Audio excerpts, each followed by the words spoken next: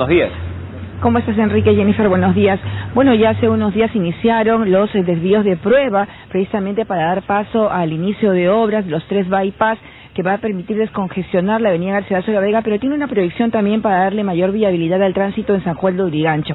Vamos a conversar con Humberto Guzmán, quien es funcionario de MAPE, para que nos hable sobre ese plan de vías. Bueno, se hizo un plan de prueba, hoy día ya terminó la Semana Santa, hay muchos más carros por esta zona. Bueno, ¿cómo eh, va a funcionar el, tema de la circulación de vehículos por esta zona? Bien, eh, así es. Eh, la Municipalidad de Lima el día jueves y viernes santo hizo el ensayo del plan de desvío. Eh, esto nos ha permitido de alguna forma monitorear y ver con el comportamiento del flujo vehicular, el tema de señalización, mejoras en el tema de tener tácticos en la zona. Por decir, ya tenemos inspectores de la GTU que van a, van a difundir un poco el, el traslado de los vehículos y adicionalmente tenemos también la Policía Nacional que nos viene apoyando. Bien, quería comentarles que el día de hoy se da por inicio este, este plan de desvío porque ya se inicia ya el proyecto de los tres bypasses del proyecto de 28 de julio. ¿no? Acá podemos apreciar el tema del plan de desvío, es bastante sencillo, quiero comunicarles a todos ustedes que la avenida Arequipa en las tres primeras cuadras está cerrada. Esto implica que se ha hecho unas rutas alternas para que los vehículos que vienen de Miraflores, por decir, eh, van a trasladarse por la avenida Arequipa a la altura de la comisaría de Petituar, doblan por Saco Oliveros y suben por Petituar hasta la avenida 28 de julio. 28 de julio es un eje que está libre en ambos sentidos, o sea, esto me va a permitir ingresar hacia Paseo de la República y por la pista auxiliar bordeo ya Plaza Grau y nuevamente ingreso hacia Garcilaso La Vega. Adicionalmente, con dirección a Rima también podemos bajar por 28 de julio y subir por Washington, de tal forma que me ubico a una cuadra de la avenida Garcilaso La Vega, permitiendo a los peatones accesibilidad. Precisamente, ah, más un corta aquí, eh, esto va a significar, como usted bien dice, algunas modificaciones en el tema de los paraderos.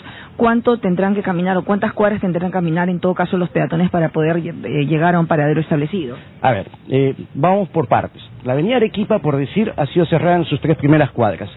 Lo que hemos hecho nosotros con dirección hacia el Rima hemos hecho un eje paralelo que está a, a, 100 metros, podríamos decir, y que permitiría a través de la avenida Petituar acceder.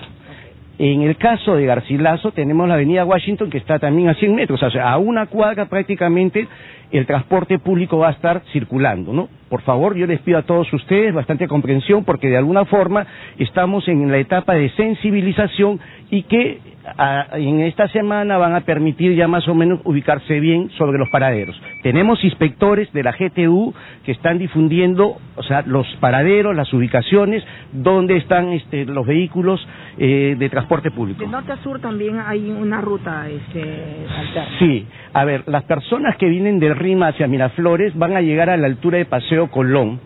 En Paseo Colón bajan con dirección hacia Plaza Bolognesi y sobre Plaza Bolognesi continúan sobre Guzmán Blanco.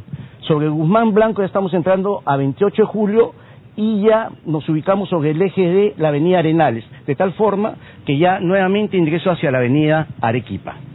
Bien, quiero hacer mención que este proyecto es un proyecto que se integra con los dos túneles de San Juan del Urigancho. Todos sabemos que el distrito de San Juan del Urigancho solamente tiene dos accesos, Permítame acá explicarle qué es lo que está sucediendo con este proyecto. Este proyecto ha sido priorizado porque le estamos dando un punto de accesibilidad adicional al distrito de San Juan del Urigancho. Estos tres bypasses van a permitir que esta intersección pueda ser fluida porque para entrar al centro de Lima se utiliza esta intersección. Acá en la Avenida España tenemos un paso de desnivel que ya está construido y sobre la Avenida Garcilaso, Tacna y prolongación Tacna ya me ubico sobre dos túneles que están a la altura de la calle Alcázar. De ahí me voy a trasladar hacia San Juan del Urigancho, permitiendo ingresar hacia la avenida Los Próceres. En realidad, estamos dando beneficio al distrito más poblado y que en realidad también ellos, o sea, es un distrito flotante, podríamos decir. ¿Por qué? Porque en horas de la mañana salen a trabajar y en la tarde retornan a sus centros de casa. Finalmente, para terminar, ¿cuánto tiempo van a eh, demorar estas obras? Esta obra se tiene prevista para terminar en 12 meses. La primera etapa es que la, parte de estos dos primeros meses vamos a ver el tema de diferencias, continuamos con la parte de obras civiles y tenemos previsto en 10 meses terminar el paso a desnivel. Adicionalmente tenemos dos meses más que van a ser las obras complementarias en la parte superior de la Alameda 28 de julio. Bueno, entonces ya las recomendaciones están dadas. Muchas gracias, señor Guzmán. Hay que tener en cuenta que esta no es una hora punta. Vamos a esperar en las próximas horas cómo se desarrolla, digamos, este plan de desvíos y cuál es la reacción de la población respecto a este plan de sensibilización que se ha hecho ya durante el fin de semana pasado para poder eh, iniciar esos trabajos en este punto y en otras zonas que se han establecido como zonas alternas. Vamos con ustedes en estudios.